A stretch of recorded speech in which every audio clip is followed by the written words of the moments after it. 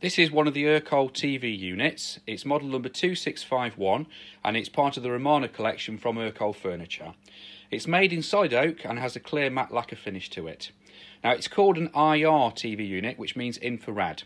So that means that when the door on the left hand side of the unit is shut if you use a remote control, it will still go through into the inside of the unit uh, to scatter that signal throughout all your audio-visual equipment. The way this works is, uh, if you can see on the left-hand side, there's a very small sensor.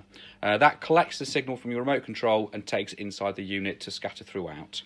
Uh, on the right hand side of the unit there are two drawers uh, which you can open with the use of the slot at the top and then when you close these drawers it's a soft close mechanism so there's no loud bangs or crashes. It just pulls the drawers tightly into place nice and steadily. Standing on some tapered legs it's a nice delicate piece of furniture.